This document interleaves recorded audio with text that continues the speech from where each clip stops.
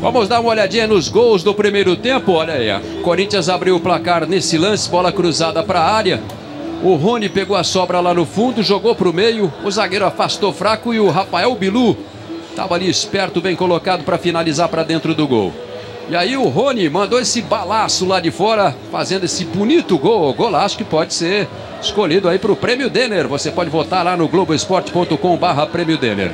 E já no apagar das luzes do primeiro tempo, Rafael Bilu fez a jogada aqui pela ponta, atravessou a bola na área, o Janderson jogou para o meio e o Natan concluiu. 3 para o Corinthians, 0 para o Porto. O time do Porto revelou aí grandes jogadores para o futebol brasileiro, né? Com destaque para o Araújo, atacante que passou pelo Goiás, chegou até a seleção brasileira.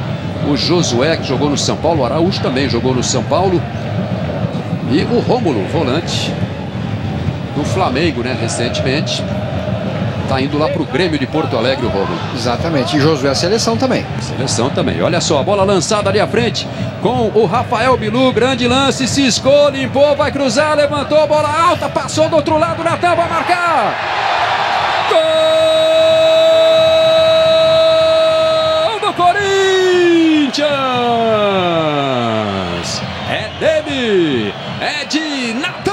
Aos 46 do primeiro tempo. Uma jogada que começou aqui na ponta com Rafael Bilu. Ele abriu luta com o zagueiro Weber. Tirou para dançar o capitão do Porto. Bola atravessada na área. O toque para trás, ajeitada para o Natan. E ele só virou para dar um tapinha para dentro. Veja só. Natan. O nome do gol: 3 Corinthians, 0 Porto. Tocou lá na ponta. Rafael Bilu e vai para o Corinthians que vai se classificando para a terceira fase da Copinha. Falta ali na frente do Rafa. Caio. Recua para o Weber. Pressionado, consegue passar para o Pedro Henrique. Olha só, o Corinthians recupera a bola. Fabrício Oia vem avançando. Tocou lá na ponta. Rafael Bilu invadiu Marildu. Bateu cruzado. Pega o goleiro. Rebote do Natan. Gol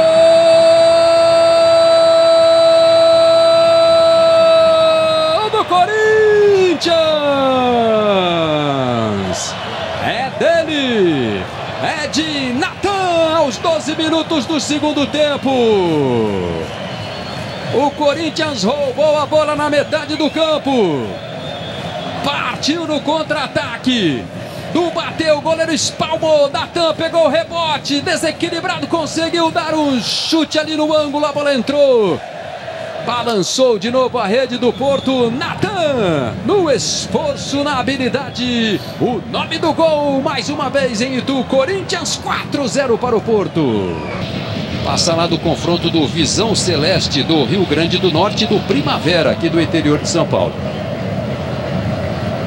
RP Brasil e Corinthians vão disputar uma vaga nas oitavas, o Visão Celeste contra o Primavera. A outra disputa de vaga do emparceiramento dessa chave para alcançar as oitavas de final da Copa São Paulo.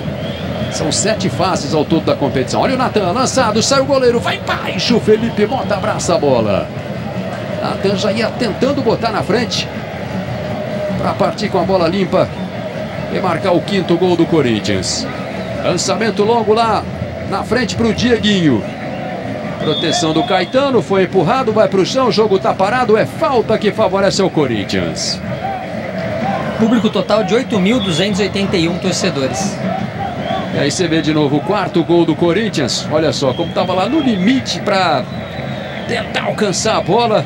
Esticou-se inteiro, Natan conseguiu finalizar, a bola passou entre o goleiro e a trave.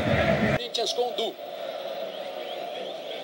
O movimento ali no campo de ataque. Tá pedindo aqui do outro lado o Daniel Marcos. Bola atrasada para o Igor, recebe Ronald. Caetano.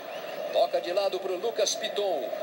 Já vamos chegando a 44 minutos. 4 para o Corinthians, 0 para o Porto. Lançamento lá na ponta. Gustavo Mantuan jogou no meio. Olha o Rapinha, tá de frente, tocou de lado. Daniel Marcos pintou mais um. Camadinha levantou. Mantuan de cabeça.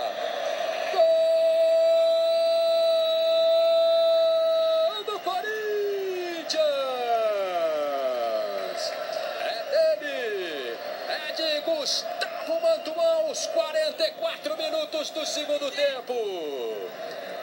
Uma bola cruzada no capricho pelo Daniel Marcos. O Mantuan começou a jogada lá do outro lado, Rafinha. O Daniel Marcos estava aberto.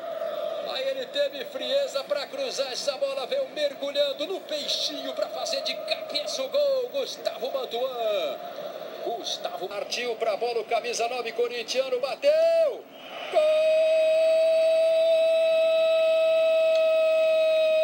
do Corinthians! É dele, é de João Celere aos 47 minutos. Bateu o pênalti, o Felipe Mota foi bem para a bola, mas ela passou e morreu no fundo do gol. Veja aí de novo a cobrança do João Celere.